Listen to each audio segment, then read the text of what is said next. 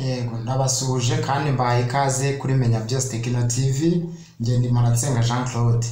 Ubu muri mu- muri iri somo ryacu ry'uyu munsi eh, twabateguriye incamake ya play the crucible. The crucible yanditswe eh, n'umugabo bita miller. Tugiye kurebera hamwe incamake hanyuma nyuma y'incamake tuzarebera hamwe iki tuzarebera hamwe abakinankuru cyangwa aba characters hanyuma turebe insanganyamatsiko themes hanyuma turebemo uh, n'imizimizo cyangwa se imigoronzoranganzo literary elements cyangwa se literary techniques bahaye ikaze rero reka turebere hamwe incamake eh, y'iyi play bita The Crucible yanditswe na Arthur Miller. Yes, uh, this play uh, begins with a historical play based on the events of the Salem witchcraft trials. Takes place in a small Puritan village of uh, the, uh, in the colony of Massachusetts in 1692. iyi play the crucible eh, batubwira ko ah, ishingiye ku ki ishingiye ku mateka y'ibyabaye cyangwa ah, y'urubanza rwabaye eh, ku bantu bashinjwaga iki? Bashinjwaga ibintu by'amarozi cyangwa bashinjwaga eh, kuroga mu gace bita salemu ariho izi manza zabereye. Hanyuma aka gace kakaba kari karakoronijwe n'abaki eh, n'aba eh, na Massachusetts bakatubwira ko aka gace nanone kari gatuwe n'abaki kari gatuwe n'abarokore cyangwa se Puritan. It was a Puritan village. Yari agace kari gatuwe n'abarokore. Baratubwira ngo the witchcraft trials as Miller explains in a prolong a, a prolong to the play grew out of the particular moral system of the Puritans which promoted interference in others' affairs as well as res- uh, repressive code of conduct that frowned on any diversion from norms of behavior. Atubwira ko rero izi manza zari ziri kuba nk'uko uyu mugabo abivuga zivugwa muri iyi play zivugwa ko zari ziri muri aka gace n'ubundi eh, ka salemu hanyuma aba bantu bari batuye muri salemu bakaba bari abarokore ariko hakaba harimo bamwe muri bo bashinjwaga ibintu byo kuroga ariho n'amakimbirane yaturutse kuko ubundi eh, ibintu byo kuroga ntabwo byari ibintu byagombaga kuranga umuco w'aba bantu. Baratubwira ngo inkuru itangira iyi nkuru ubundi itangira itangirira eh, itangirira mu rugo kwa nde? Kwa pasiteri uwo bita reverend pasiteri eh, samuel paris wari ufite umukobwa eh, bita nde? Bita betty. The play begins in the home of reverend samuel paris whose daughter betty lays ill umukobwa yari arwaye umukobwa betty yari afite uburwayi bw'amayobera butari buzwi.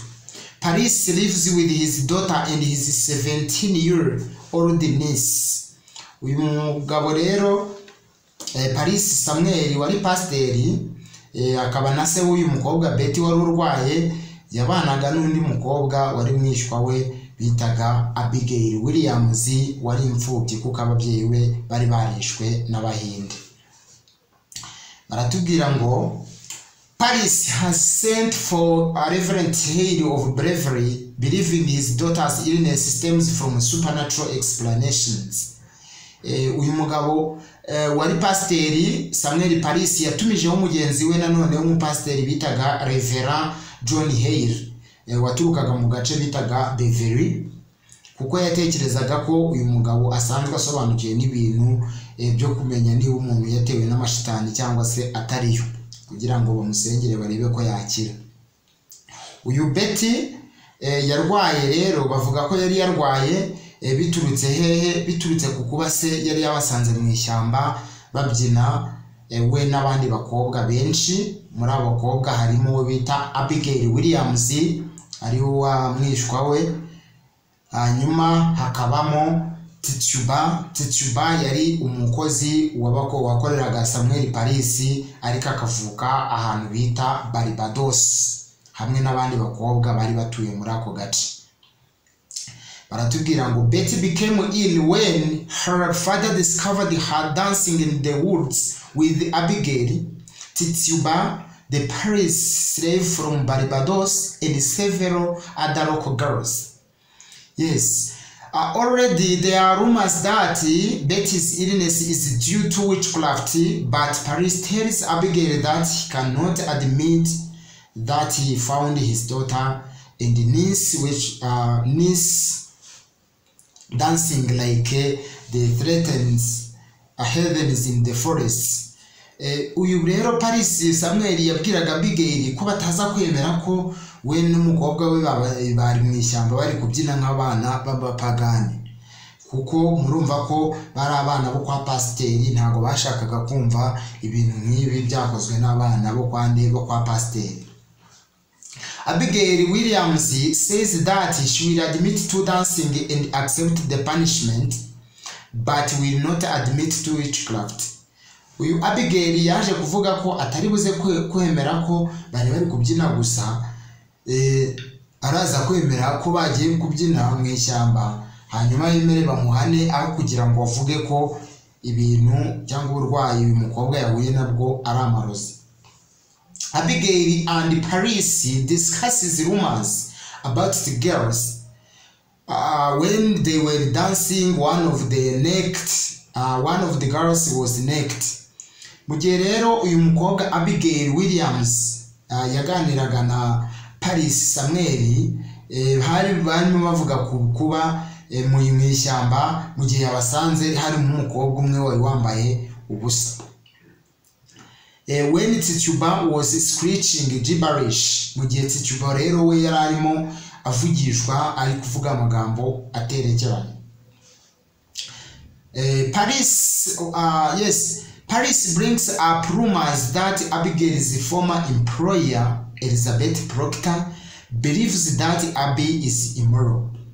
Uyu Paris Samuel rero yaje kuzana ibihuha eh, bivuga ko eh, uyu mukobwa Abigail Williams eh, wahoze ari umukozi kwa nde? Wahoze ari umukozi kwa kwa Elizabeth Proctor. Uyu Elizabeth Proctor yaje gutanga amakuru ko uyu yanze yikunze uyu mukobwa Abigail yaba ari umuntu utuzuye.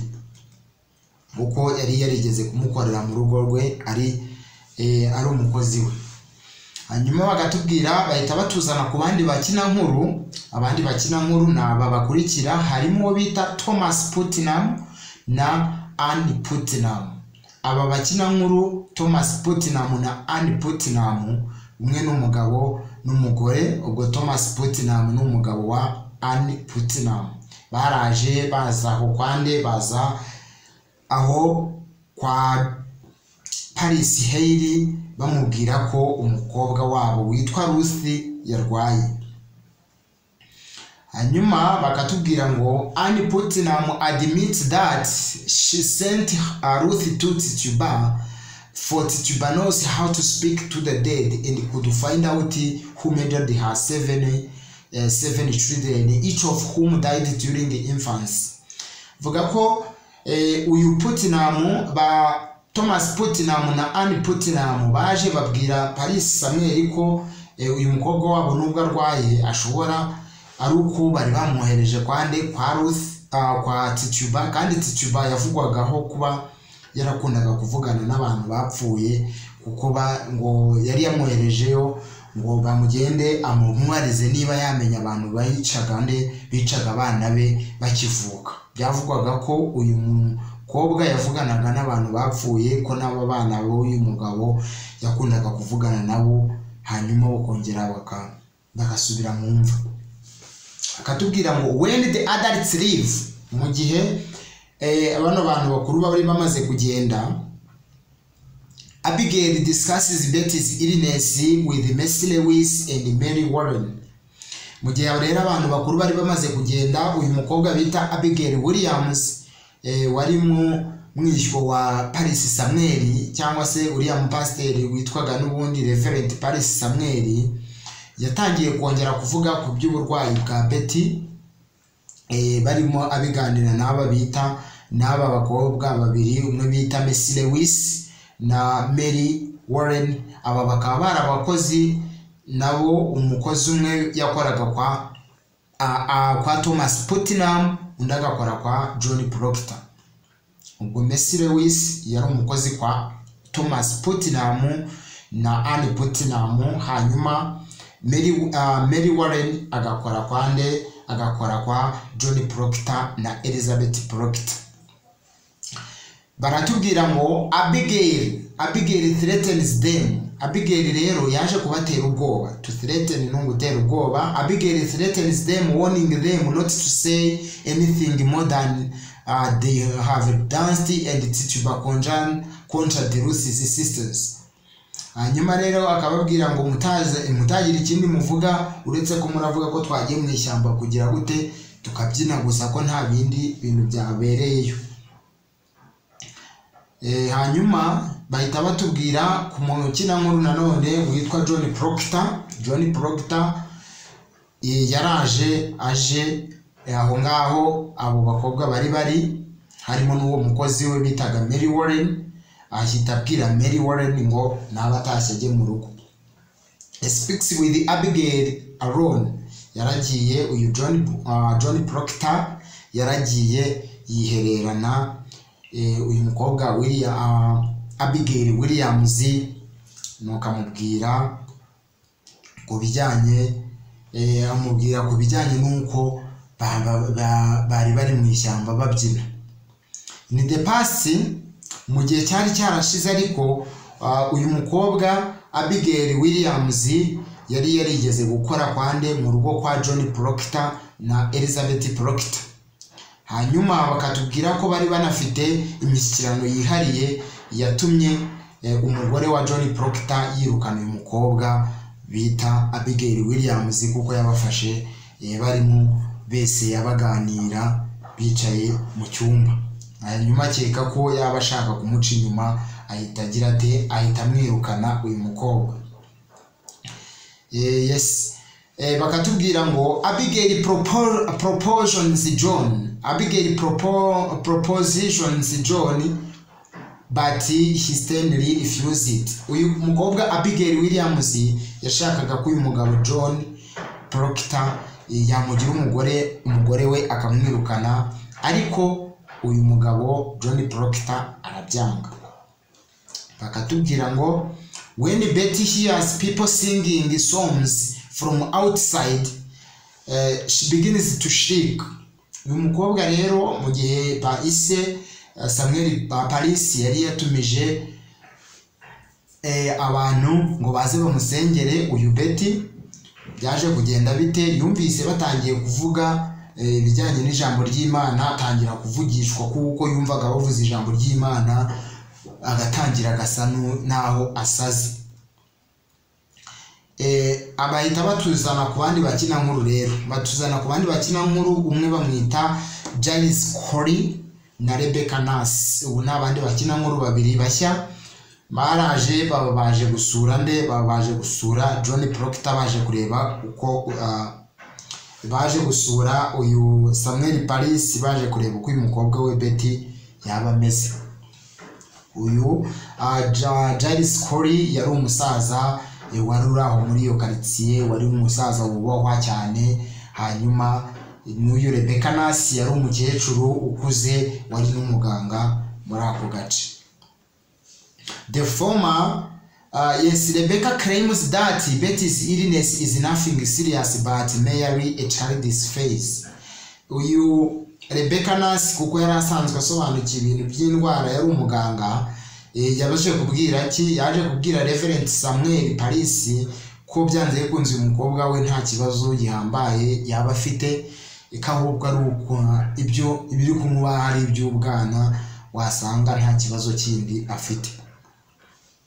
Hanyuma bakatubwira ko Paris Paris yaje guhita eh, kuko eh, yari ari aho mu rugo n'ubundi na Proctor yaje muri urwo rugo yaje guhita aganira nande na Paris eh, na Proctor eh, amubwibaza impamvu adaheruka kumubona mu rusengero uyu Paris Samuel yari pasiteri yabazaga uyu eh, uyu mugabo John Proctor impamvu adaheruka mu rusengero ariko but Proctor claims that Paris is too obsessed with the domination and never mentions God.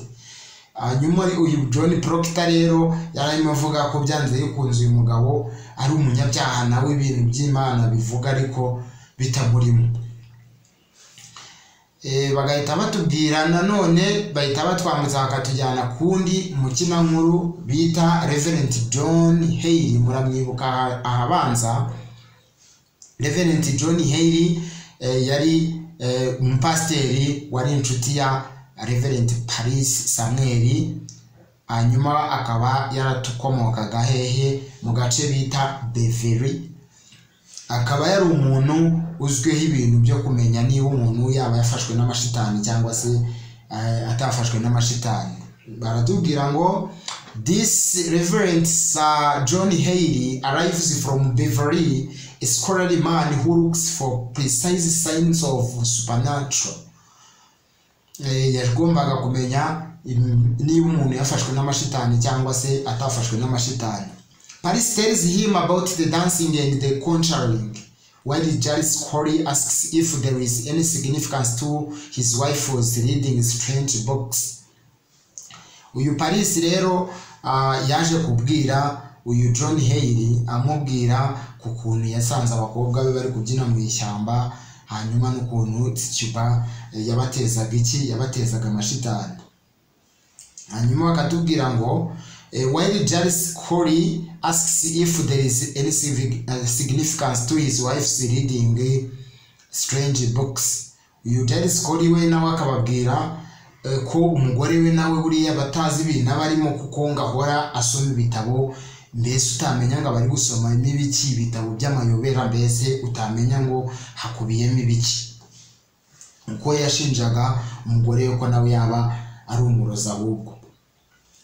Haley questions Abigail. Uyu John Haley yabajije Abigail if she sold her Sauli to Lucifer yabonye Abigail uyu John Haley yabonye Abigail uburyo ari kwitwara mu buryo budasanzwe eh, amubaza niba roho ye yaba itaragurishijwe kwa Satani. Yes bakatubwira ngo finally biza kurangira Abigail blames Tituba claiming that Tituba made Abigail and Betty drink blood and that Tituba sends her spirit out to make uh, mischief. Uyu Abigail Williams rero yaje kuvuga ko Tituba eh, yigeze kubaha amaraso eh, we nande eh, we na na Betty hanyuma barayanywa. Akaba ari byo bakeka ko byaba byarabateje amashitani eh, akabinjiramo akaba ari na yo yateje uburwayi nde? Yateje uburwayi iyo Betty. Eh, maze baratubwira ngo Putman, uh, Putnam declares uh, declares that Tituba must be uyu uh, Thomas Putnam rero yahise yumvise ibyo ngibyo yahise avuga ko byanze bikunze Tituba agomba kugira gute agomba kwicwa amanitse. But Haley confronts ariko eh, uyu John Haley wari pasiteri n'ubundi aravuga ngo ntabwo ari byo ntabwo ariko bimeze. Upon realizing that the only way to save herself is to admit the church Tituba claims that the devil came to her and pro promised to return to her Barbados. Uyu mukobwa rero amaze kubona ko byanze bikunze nta bundi buryo agomba gukiza ubuzima bwe yahise yemera icyaha. Hanyuma yavuga ko eh, satani yamusezeranyije ko eh, ariyo yamuteye ikanamusezeranya ko izamujyana hehe muri Barbados. Eh, bakatubwira nanone she says that she says that several women were with him. Uyu mukobwa rero yabonye aho kugira ngo yemere icyaha ari we wenyine yavuze ko hari abandi bagore bari bari kumwe cyangwa se bakorana muri ibyo bintu bijyanye n'amarozi no gukorana na- n'imyuka mibi bakayiteza abantu. Hanyuma mu bagore yavuze those women includes Sal Good and Sal Osman and the girls to join in the chorus of accusation name more people they claim to have seen with the devil. Rero ni ukuvuga ngo uyu mukobwa yahise avugamo aba bagore babiri uwo bita sara absa sara gudu na sara osibani hanyuma avugamo n'iki avugamo n'abandi bakobwa babaga eh, babaga bari kumwe nawe benshi cyane. Bakatubwira agace ka kabiri the second act. Mu gace ka kabiri the second act takes place a week later in the proctor's house. Agace ka kabiri kabera kwa proctor mu rugo hanyuma kwa proctor eh, biba byagenze bite? John proctor returns home late after a long day planting in the fields and elizabeth suspects that uh, he has been in the village. Uyu mugabo john proctor aka gace ka kabiri gatangira avuye he avuye mu murima avuga ko yahoze ahinga ariko umugore we atemera ko yahoze ahinga ko ahubwo yiriwe muri iyo karitsiye atembera gusa Mary Warren, Mary Warren muramwibuka, Mary Warren has been there as uh, an official of the court for the witchcraft trials uh, even after Elizabeth forbade her. uyu rero umukobwa uyu mukobwa bita Mary Warren wari usanzwe wari umukozi kwa John Proctor cyangwa iyo wakoraga kwa John Proctor bari bamwitabaje mu rukiko ngo ajye gutanga ubuhamya bw'ibintu by'amarozi bashinja abo bantu kuri ako gasozi. Nubwo nyirabuja Elizabeth Proctor yari yamubujije Elizabeth Proctor tells John Proctor that she must tell Ezekiel Chiva, the constable, that nobody will believe, uh, that Abigail admits that Betty's sickness has nothing to do with the witchcraft, but Proctor admits that nobody will believe him because uh, he was alone with Abigail at the time. Hano baratubwira ngo uyu mukobwa wa- uyu mugore uh, wa Elizabeth Proctor witwa Elizabeth Proctor wari uyu mugore n'ubundi wa Thomas Proctor wa John Proctor yabwiye umugabo we John Proctor ko atagomba kwemerera uwo bita Ezekiel Chiva eh, wari ushinzwe iki? Wari ushinzwe iperereza investigation yo kumenya niba abo bantu koko ibyaha by'ubu- by'uburozi bibahama. Avuga ko ataza kumwemerera ko ibintu by'uburozi bivugwa muri ako gace bibaho. Ahubwo aza kumubwira ko umukobwa bita Abigail yamubwiye ko uburwayi bwa Betty bwatewe n'iki? Bwatewe n'ibindi bitari iki? Bitari ama- bitari amarozi Eh, yes elizabeth is disturbed by uh, by this. Elizabeth rero yaje kugira gute hari abantu baje baba baramurogoye but proctor reprimands her for her suspicion. Ariko uh, john proctor rero nawe yari ari kugira gute? Yaramucyashye kubera ko yamukekaga ko n'ubundi koko ashobora kuba ari mu barozi. N'ubundi muri ako gace kuko nawe bari bamuvuzemo mu rukiko. Mary Warren arrives. Mary Warren yaraje aba batungutseho aba batungutseho mu rugo and gives Elizabeth uh, a puppet that she made in a court. Yaraje rero abamuhereje iki? Mary Warren yaraje ahereza nyirabuja Elizabeth Proctor igipupe yavugaga ko yakoreye hehe yakoreye mu rukiko. Mary Warren tells them that 13 39 people have been arrested and Sarah Absan will hang. Mary Warren rero yaje kubwira eh, ba nyirabuja nyirabuja, na sebuja ko eh, hari ari abantu mirongo itatu n'icyenda bamaze gufatwa bari gukekwaho ibijyanye n'uburozi k'uwo bita Sarah Absben Obsiban nawe yafashwe muri abo kandi ko bavuze ko ari bumanikwe. But not Sarah Good. Ko uwo bita Sarah Good we yagize gute? We yemeye icyaha ariko eh, bakaba bamwihoreye ko atari muri bo mu bantu bari bari bagire gute? Bari mu manikwe bakatubwira ngo nanone when a proctor becomes angry at Mary iki gihe rero John Proctor yise arakarira nde? Arakarira Mary Warren. Amubwira ko eh, n'ubundi yagiye mu gutanga ubuhamya mu rukiko kandi bari bamubujije. Ariko rero Mary Warren tells him that she saved Elizabeth's life that day for her name was mentioned in the court. Uyu mukobwa elizabeth aravuga ngo nyamara nubwo nagiyeyo nakijije ubuzima bw'umugore wawe kuko nawe ari mu bari bavuzwe ko ari umurozi ndamushinjura mu rukiko nawe aba ari mu bantu bajyanye. Bahita batujyana kwa wa mugabo nanone john Haley aragaruka. John Haley wari pasiteri bakatubwira ngo ah, john Haley arrives. Yarahageze uh, he tells the proctors that rebecca nancy was choked yabwiye john proctor na elizabeth proctor ko eh, rebecca nancy nawe bamufashe muri ba bandi bashinjwa iki? Bashinjwa uburozi. Then questions proctor on his church going habits. Noneho rero uyu john proctor eh, uyu john proctor ababwira nde? Ah, ah, uyu john Haley yatangiye kubaza john proctor niba akijya gusenga. Biza kurangira finally he makes proctor state the ten commandments. Abwira john proctor eh, uyu john Haley yabwiye john proctor kugira gute ku- kuvuga amategeko y'imana icumi ngo yumve niba koko aheruka mu rusengero ajya gusenga. He can only remember nine of ten.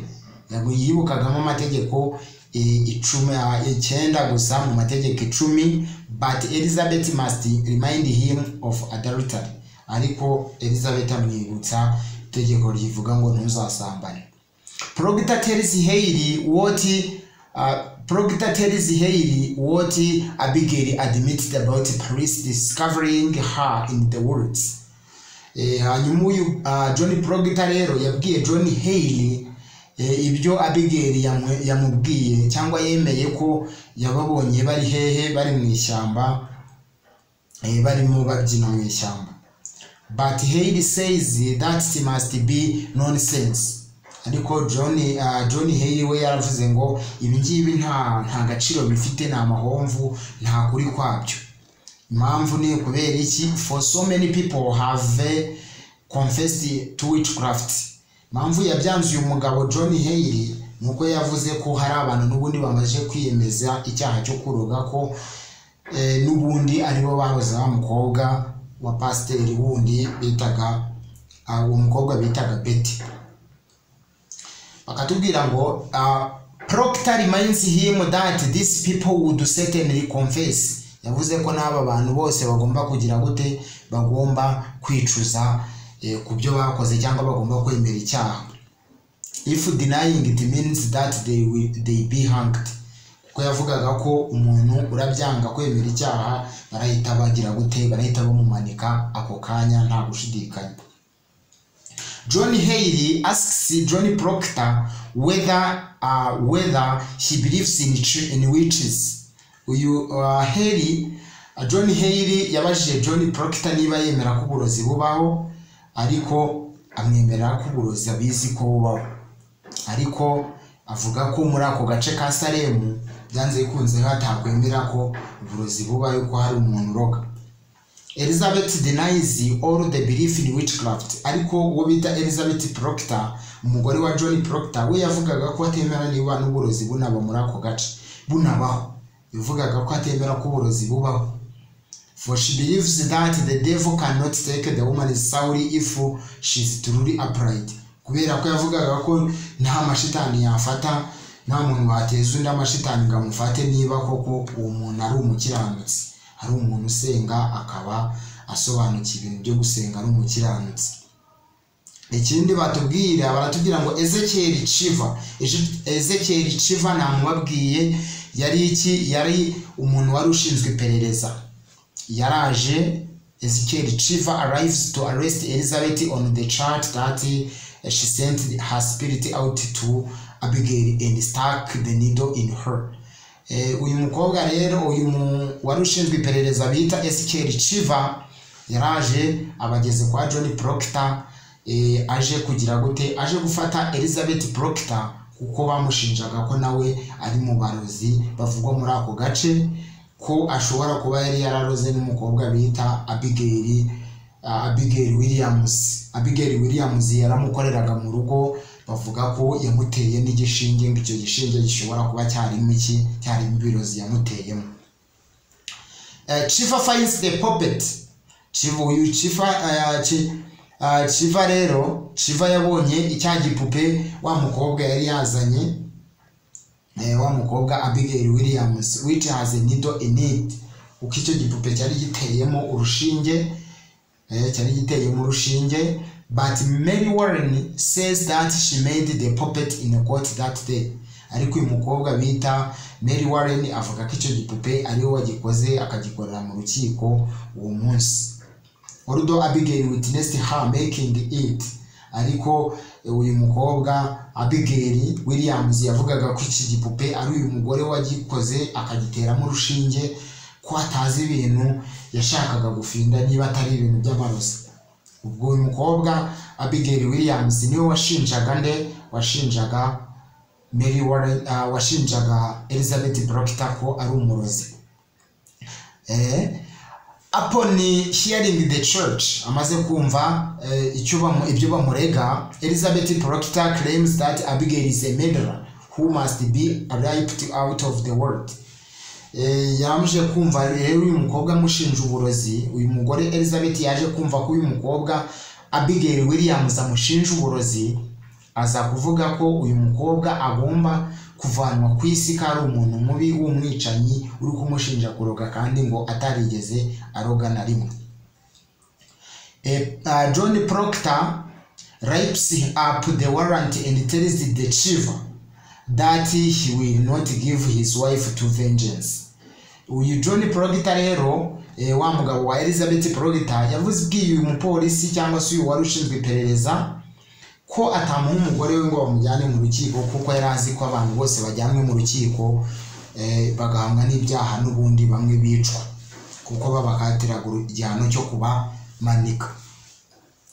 Eh, when eh, John Haley insisted that he- the court is just ariko uyu bita John Haley yaravuze ngo urukiko ntabwo rurenganya. Ntabwo rurenganya niba ari umwere koko bashobora kuzagira gute bashobora kuzamurekura nibamara kumucira urubanza bagasanga arengana. John Proctor calls him a spontaneous Pilate hanyuma rero uyu John Proctor ahita yita uyu mugabo John Haley Pontius Pilato. Kubera ko yagize gute yari asa n'aho agambaniye umugore we ngo bamujyane bajye mu rukiko. Kandi byanze bikunze umuntu wahamwaga n'icyaha cyo kuroga baramubambaga cyangwa baramwicaga. He finally demands that Mary Warren come to court and testify, testify against uh, Abigail, but she sobs that she cannot. Uyu rero uyu John Proctor yaje gusaba Mary Warren kujya mu rukiko agatanga ubuhamya eh, mbese avuga ko uyu mukobwa Abigail Williams abeshyera abeshyera nde abeshyera Elizabeth Proctor ko byanze kunze atari umurozi. Mwibuke ko uyu Mary Warren yari umukozi ahangaha kwa nde kwa John Proctor.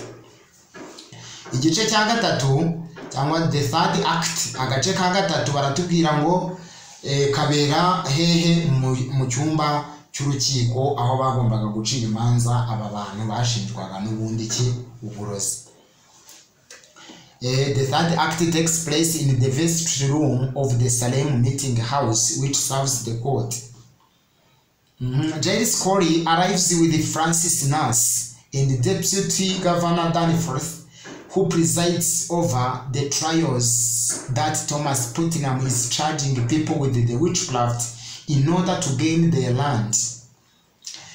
rero witwa muramwibuka twamuvuze haruguru wari umusaza yaje azanye nande nawe bita Francis Nasi Francis Nasi yari umugabo wa Rebecca Nasi Rebecca Nasi mwibuke nawe ko yashinjwaga iki? Uburozi ko nawe yashinjwaga uburozi. Hanyuma uyu Giles Corey n'uyu eh, Francis Nasi baraje babwira Depu- Deputy Governor Danforth wari iki? Wari umucamanza wagombaga guca urubanza eh, rw'aba bantu eh, bagiraga gute rw'aba bantu bari bashinjwa ibiki ibintu bijyanye n'uburozi.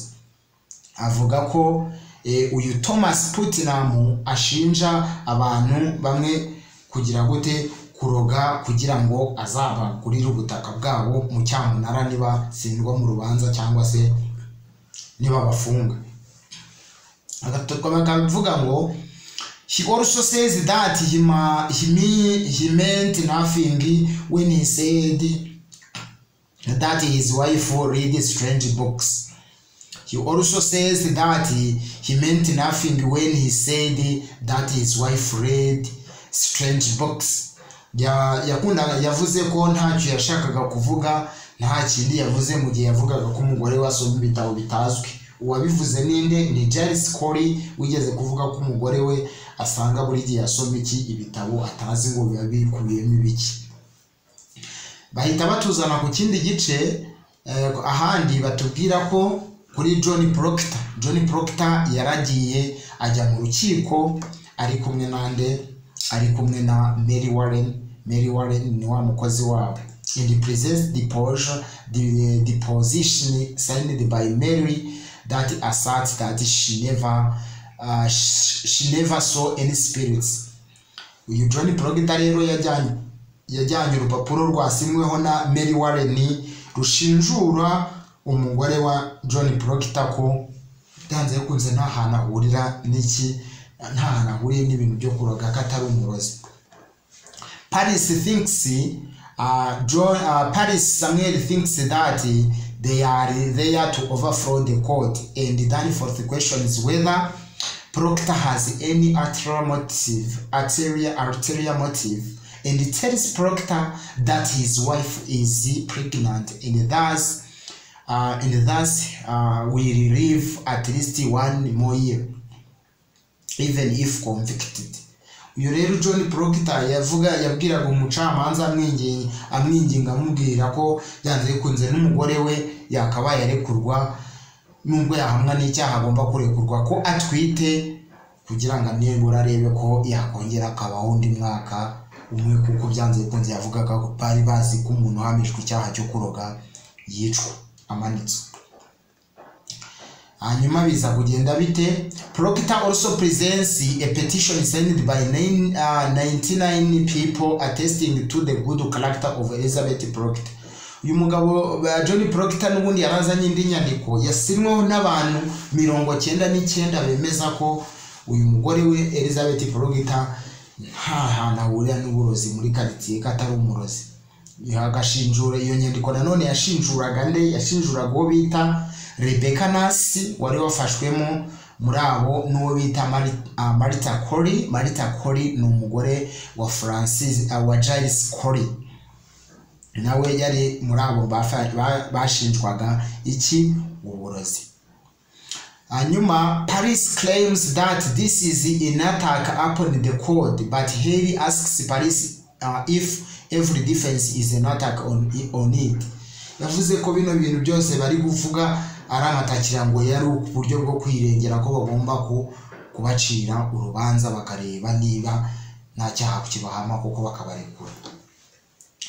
Thomas putnam eh, muribuka wa wundi bita thomas putnam eh, wavugaga ko eh, abana be bicwa nande bishwe na, ba- na tituba abateje amasitani cyangwa se avugana n'aba- n'aba- n'abantu bapfuye n'abana be ajya avugana nabo bakagaruka. Uyu thomas putnam arrives at the court. Nawe yaje hehe yaje muri rwa rukiko handi bari bari gucura urubanza. And Jairus Corey charges him with the murder. Jairus Corey rero atangira eh, gushinja uyu Putnam uh, Putnam Thomas ko nawe ari iki? Ari umwicanyi. Corey da- tells uh, da, da, Danforth that someone told him that Putnam prompted his daughter to accuse George Jacob so that he could buy his land. Yavuze ko uh, uyu Jairus Corey yabwiye umucamanza ko uyu Thomas Putnam ari umuntu mubi ko yigeze kubwira umukobwa we ngo nagenda abeshyere eh, umugabo bitaga George Jacob kugenda akamubeshyera ngo bamufunge hanyuma agure ubutaka bwe. Jairus Corey uh, refuses to name this person. Ariko Giles Corey hari umuntu yanze kuvuga izina and so is arrested for a content. Yaje kugira gute yaje uyu mugabo nawe kugira gute ufatwa uyu Giles Corey arafatwa nawe arafungwa bavuga ko byanze bikunze hari ibintu yaje kubeshya mu ki kubeshya mu rukiko. Abigail then arrives with the other girls. Abigail Williams nawe yaje muri urwo rukiko aje ari kumwe n'abandi bakobwa baje gushinja nde? Uh, baje gushinja wa mugore uh, Elizabeth Proctor ko ari umurozi. Proctor tells Danforth how Abigail means to murder his wife. Uyu uh, Proctor yabwiye uwo bita Danforth Deputy Governor Danforth wari umucamanza eh, uko uko uko uyu Abigail yashakaga kwica umugore we. Proctor John Proctor yabwiye umucamanza uko Abigail Williams yashakaga kwica umugore we Elizabeth Proctor Abigail pretends that she feels a sharp wind threatening her. Uh, Proctor grabs her by the hair and calls her a whore and finally admitting his affair. nuko rero uyu mukobwa yagize uburakari bwinshi agenda ajya naho asa n'aho agiye gusagarira Proctor Proctor ahita afata uyu mukobwa mu musatsi aramuzunguza ku buryo umukobwa yumvise yeme yageze aho avuga na bya bindi bigeze gukora mu gihe uyu mukobwa yakoraga kwande yakoraga kwa John Proctor mu rugo. Barakatubwira ngo baratubwira ngo Danforth orders Danforth uyu mucamanza bitaga Danforth yategetse ko Elizabeth orders that Elizabeth be brought to the court? Ajyanwa mu rukiko n'ubundi nta kabuza if elizabeth admits to firing abigail for her affair danforth will charge abigail with murder. Aravuga ngo nanone niba uyu mukobwa eh, elizabeth baje gutegeka ko ajyanwa mu rukiko akaburanwa ariko nanone bayihanangiriza uyu mukobwa bavuga ko uyu elizabeth navuga ko yigeze ku usanga uyu mukobwa Abigail Williams ari kumwe n'umugabo we akaba ari cyo yamwirukaniye. Kuba arafata ko uyu mukobwa yashakaga kubeshyera nde? Yashakaga kubeshyera uyu mugore Elizabeth Proctor. Ni na cyo yari yaramujijije ko yari yarigeze kumwirukana mu rugo kubera ko yigeze kubafatana n'iki n'umugabo we bari mu nzu mu cyumba. Elizabeth is uh, Elizabeth thinking that she is defending her husband. Elizabeth we yarazi ko byanze bikunze araza kuvuga ashinja uyu mugabo we katigeze aryamana n'iki n'uyu mukobwa hanyuma biza kugenda bite. Only claims that she fired Abigail because of poor work habits. Uyu Elizabeth ntabwo yaje kwemera ko yamufatanye n'umugabo we bari kumwe. Yavuze ko yaba amusebeje ko ahubwo yirukanye uyu mukobwa kubera ko yarakoraga akazi nabi katayamwirukaniye ku kuba yaramusanganye n'umugabo we. Kandi murabyibuka ni cyo yari yaramwirukaniye. Proctor cries out for Elizabeth tell the truth. Uyu Proctor yararize agira ngo arebe ko umugore we aravugisha ukuri kuri kw'ibyabaye kuko niko kwari kumukiza n'ubundi kuba yari kuvugisha ukuri ni byo byari kumukiza kuko bavugaga ko navugisha ukuri n'ubundi biragaragara ko uyu mukobwa yamubeshyeye ko araba abaye umwere agataha mu rukiko. Ariko uyu mugore yaravuze ngo nimvugisha ukuri ndaba mbeshyeye umugabo wanjye ndaba nsebeje umugabo wanjye ahubwo we ahitamo kubeshya. John Haley admits that Elizabeth's lie is a natural one to tell. Nuko John Haley rero we yemeza ko uyu mugore ikinyoma abeshye ubwo ari byo yarigombaga kuvuga n'ubundi ari byo. Abigail then claims that Mary Warren's spirit is attacking her in the form of a bed. Uyu Abigail yahise avuga ko uyu mugore n'ubundi ajya amuteza amashitani ariko akaza ameze ari suforme y'inyoni. Ameze nk'inyoni akaza akamutera ari nk'inyoni. Although Mary Warren claims that the girls are lying. Uyu rero Mary Warren yaje kuvuga ko aba bakobwa bose babeshya. Ibyo bavuga ari ukubeshya ko atari byo. She soon breaks down and tells the Danforth that Proctor is a league with Satan. And he wants to pull down the court. Ahubwo uyu mukobwa Mary Warren yavuze ko uyu mugabo agomba kuva aha mu rukiko eh, eh, uyu Mary Warren yabwiye uyu mucamanza ko uyu mugabo Proctor eh, agomba kuva mu rukiko ko ahubwo nawe ashobora guteza ibibazo. And wants to pull down the court ko ashaka kugira gute yakwi- yakwica ibijyanye n'urukiko. Proctor Price uyu Proctor rero yumvise bigenze bityo biramubabaza cyane ararira asakuza cyane asaba eh? Proctor Price out that God is dead. Asaba avuga ngo Imana hari yaba yarapfuye. Kubera ko iki? Kubera ko agiye kuzira iki? Agiye kuzira ubusa. Eh, and that a fire is burning in head. Because the court is pulling heaven down. Yatangiye kuvuga ko byanze bikunze abantu bakora mu rukiko ari bo bagiye kuzatuma isi irangira kubera ko ari bo batangiye guteza ibibazo ku isi. Mbese bagiye kumanura ijuru? Haley uyu mugabo bita John Haley yaje kuvuga ko eh, yaje guhagarika iki? Guhagarika urubanza and quit the court. Nuko aba arisohokeye. Uyu uh, Haley yaje guhagarika ibyo yaregaga byose aba arisohokeye uyu ni John Haley hanyuma mu gace ka kane mu gace ka kane baratubwira inde baratubwira the fourth act takes place several months later in the autumn at the Salem jail cell. Batubwira abantu bagiye kugira gute bagiye eh, bajyanwe muri gereza. Shiva details how the town is in shambles because so many people are in jail. Uyu wari ushinzwe iperereza uwo bita uh, Ezekiel Chiva avuga ko ukuntu agace kari karabaye nabi kubera ko abantu bose hafi ya bose bo ku musozi bari barashinzwe uburozi bajya gufungwa mbese agace karasigaye ari nk'ubutayu abantu bose barabamariye muri gereza muri ako gace ka Salem. Haley has been begging Rebecca Nurse to admit to, witchcraft. Uyu John Haley yari ari kwinginga Rebecca rero, Rebecca Nurse ngo yemere iki? Yemere ko ari umurozi. Kuko umuntu wemeraga ko ari umurozi we baramubabariraga bakamureka agataha. hanyuma paris samuel arrives uyu paris samuel muramwibuka ise wa betty yaraje nawe agera aho mu rukiko agera aho kuri gereza aho bari bafungiye abo bantu. Abwira umucamanza danforth ukuntu abigail eh, yabuze kandi akaba yarabuze yarazimiye ari kumwe nande n'uwo bita Messi Lewis. And stolen his money. Ko kandi bagiye bazimiye bibye n'amafaranga ye.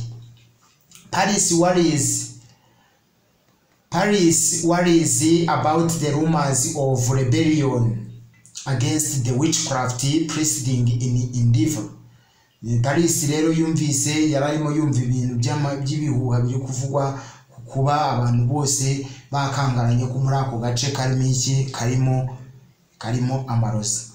But Hathorn reminds Paris haje umuntu bita nanone nde bita Hathorn abwira Paris ko eh, hari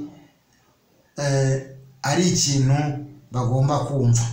Eh, Paris uh, Hathorn reminds Paris how there there has only been a great satisfaction in all Salem executions. Uh, Paris yiwe yabwiye Hathorn yaje kubwira Hathorn ko Rebecca Nasi ari umuntu utagize ute ari umuntu udafite ah, udafite moro udafite umutimanama mbese ari umuntu mubi. Like those executed ko ari kimwe n'abo ngabo bari bahawe igihano cyo kwicwa.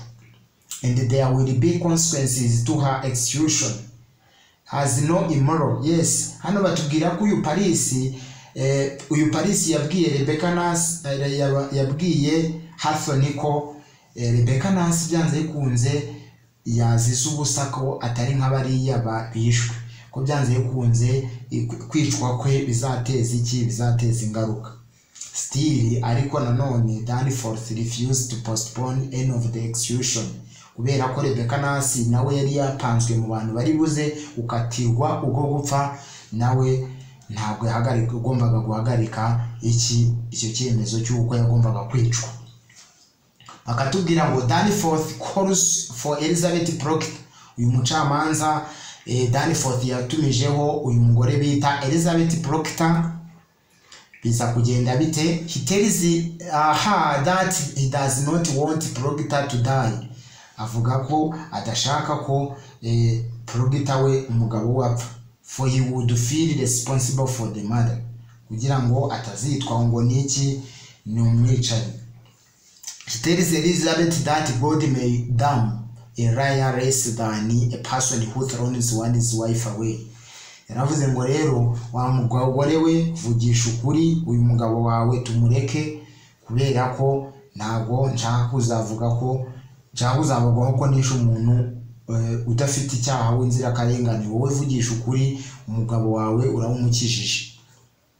But elizabeth claims that this may be the devil's argument. Avuga ngo ibyo ngewe nta kintu nabivuga ibyo ngibyo n'ubundi kuko nawe yari mu bantu bagomba kugira gute gukatirwa ubwo gupfa. Avuga ko ibyo ngibyo n'ubundi satani ariyo igomba kubifataho iki? Umwanzuro. Finally byaje kurangira gute elizabeth agrees to speak with the proctor. Elizabeth eh, yaragiye yihererana umugabo we proctor hanyuma eh, amujyana ahantu with the body and filth proctor and elizabeth discuss their children elizabeth na proctor baganira ku bijyanye n'abana babo hanyuma elizabeth abwira proctor ukuntu giles gary yapfuye. Giles corey yapfuye ko nawe ari mu bantu bishwe when he refused to answer yes or no kubera iki? Kubera ko bageze kumaza ikibazo mu rukiko ngo ugiye gusubiza yego cyangwa oya hanyuma bigenda gute? And thus placed with stones hanyuma birangira yanze gusubiza bamwicisha iki? Bamwicisha amabuye. Only gave the words more weight before they crushed him. Byarangiye bamwicishije bamwicishije iki? Amabuye bayamushize ku mugongo arapfa. Inde Giles Corey ubwo Elizabeth ni we wabwiragwa eh, John Progita ukuntu eh, Giles Corey yanze kwemera gusubiza ikibazo bari bamusubibajije ngo nasubize yego cyangwa oya birangira bamwicishije iki bamugeretseho amabuye aramwica John Proctor says that he cannot mount the uh, as a saint. John Proctor aravuga ngo nawe ntabwo yakwemera yakwemera yakwemera ahubwo agapfa nk'iki nk'umutagatifu. For it would be a fraud to claim that he has never lied. Kubera ko n'ubundi byashobora kumenyekana ko yaba yarabeshye. Elizabeth says that he has her own signs. Elizabeth yavuze ko afite ibyaha bye ko atazanzira ibyaha bye byanze bikunze ko umuntu afite ibyaha bye ku giti cye Elizabeth yaravuze ngo wowe ntabwo wapfa kubera njye njye mfite ibyaha byanjye ubwo ni byo bazampora for only called wife would prompt literally. Finally byaje kurangira bite Proctor uh, decides that, uh, decides that he will confess himself. John Proctor yaravuze ngo njye niba mfite ibyaha nzabyicuza ku giti cyanjye nawe wa mugore we niba ufite ibyaha uzabyicuze ku giti cyawe. Umucamanza Danforth yaje gusaba iki yaje gusaba inyandiko yemera ko John Proctor yemeye icyaha Danforth demands a written confession and to prove absurdity of his soul and he demands that Proctor accuse others. Yaravuze ngo navuga abandi bantu niba yemeye icyaha nabisinyire namara kubisinyira eh, hanyuma avuge abandi bantu eh, bashobora kuba ba- bahanwa n'icyaha bahamwa n'icyaha. Hanyuma john haley avuga ko john haley suggests it is insufficient uh, sufficient for proctor to confess to god but danforth still requires a written statement. Yaravuze john proctor john Hay yaravuze ngo niba uyu mugabo john proctor yemeye ibyaha yemeye ibyo yakoze byose akaba abyemera noneho reka bagire gute? Reka bamubabarire. Hanyuma umucamanza aravuga ngo ngewe nshaka igihamya cyanditse kigaragaza niba niba koko ibyo yemera ko yabikoze. Kubera ko uyu mugabo nta cyaha yari yarakoze yishinjaga yahise avuga ngo ninandika biraba bigaragaza ko nimiyemeje icyaha byanze bikunze bazakomeza bakibare. Ahubwo john proctor refuses. John proctor birangira ate? Birangira yanze kwemera yanze kwemera kwandika inyandiko igaragaza ko yiyemeje icyaha. Because he wishes only to keep his good name for the respectability uh, of his children. Yavugaga ko byanze bikunze yemeye icyaha uh, mu gihe yazapfa icyasha cyazasigara ku bana be ko eh, yakoze ibyaha ko yari mu bishe kandi atarishe cyangwa se yaro- yarogaga kandi atararoze. Birangira byanze aravuga ngo ntiyazasebya izina rye kuko ibyo byazasigara icyo cyasha cyazasigara ku bana be. Umucamanza Danforth nawe yanga kwemera ko eh, John Proctor yemeye icyaha kuko yari yanze kwandika kubigaragaza mu nyandiko. And orders that he be hanged. Ahubwo uyu mucamanza Danforth ategeka ko uyu John Proctor yicwa kubera ko yari yanze kugira gute yari yanze gukora inyandiko ibigaragaza. Hailey begs Elizabeth to plead with Proctor to sign a confession. Eh, Hailey yinginze Elizabeth kugira ngo abwire umugabo we yemere icyaha mu nyandiko. But Elizabeth claims that Proctor now has his goodness. Avuga ko uyu mugabo nta cyaha afite ko n'ubundi ibye atari bubibazwa. Ubwo John Proctor John Proctor biza kugera gute? Biza kurangira John Proctor nawe yishwe. And nobody should take it away from him. Biza kurangira uyu mugabo nawe eh, bemeje ko agomba kwicwa. Iyi ni ho inkuru yacu irangiye play yacu the crucible yanditswe na Arthur Miller. Iyi ni menya byose Tekino TV njye ndi Muransenga Jean Claude ndabashimiye.